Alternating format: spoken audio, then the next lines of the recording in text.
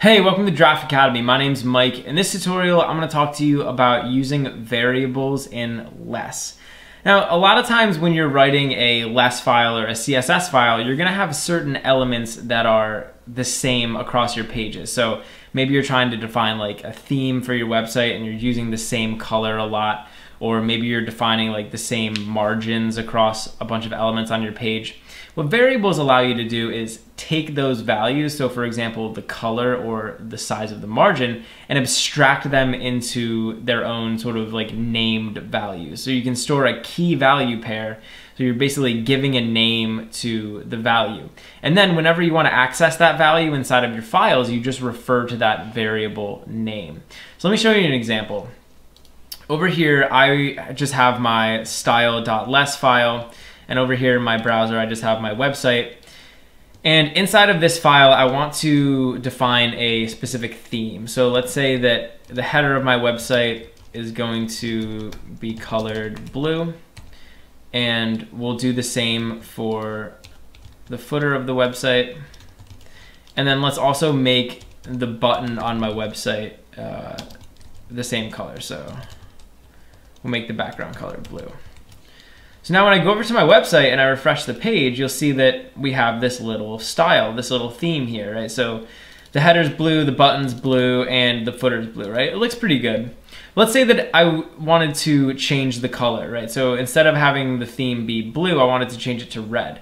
Well, I have to go through to each one of these individual values and change the color. So I'll go here, change this to red, change that to red, and change that to red. So now the site is updated. But here's the problem. If you're dealing with a really large CSS file and you have a lot of attributes that are using the same value, so for example, all three of these attributes are always gonna have the same value because it's the same theme. And in a situation like this, it's really difficult to update those values because you have to go through to each individual attribute and change it. And this is where variables can help us. Variables will allow us to take these values and only store them in one place in our file. And then when we want to change it, we only have to, to change it in one spot. So up here at the top of the file, I'm going to define a variable. And you can just type the at symbol, and then you want to type out the name of the variable that you want to make. So in our case, we'll just call it theme hyphen color. And then a colon, and now over here we can type the color of the theme. So we're using red. Let's just type red.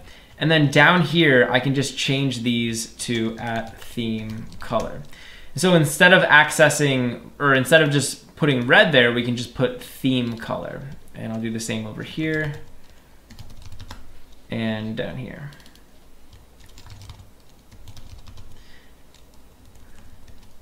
And so now, when I refresh this page, you'll notice that nothing changes, right?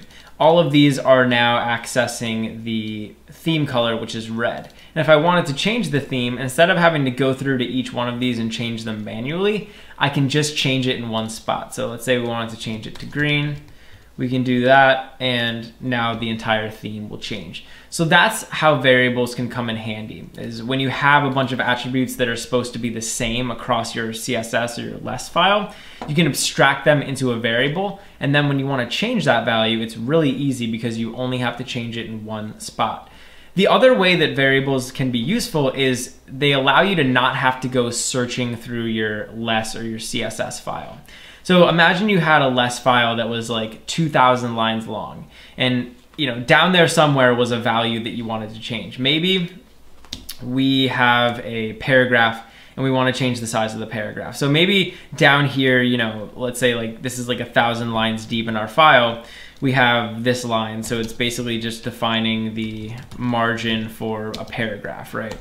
10 pixels. Well, if I want to then change this value, let's say I'm up here at the top of the file, I have to go searching through this file just to find this one spot. Instead of doing that, what I could do is define a variable up here. And so we'll call this P for paragraph, margin size. So this is gonna define the size of the margin. So maybe we'll make it 100. And now all I have to do is just go down here and again replace this. So instead of 10 pixels, we'll make this P margin size. and that should update the margin for us. But when I want to change this, because I used a really descriptive name up here, so this it's a descriptive name, it tells me what it's doing. Instead of having to look through that entire CSS file or that less file in order to change that value, I can just use the name and I can say, oh, well, this controls the paragraph margin size. So maybe we'll make it 10 pixels instead of 100.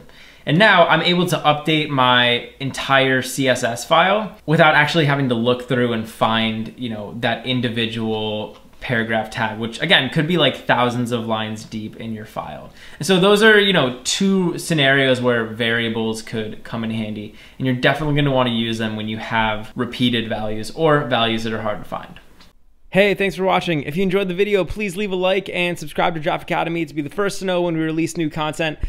Also, we're always looking to improve, so if you have any constructive criticism or questions or anything, leave a comment below. Finally, if you're enjoying Giraffe Academy and you want to help us grow, head over to giraffeacademy.com forward slash contribute and invest in our future.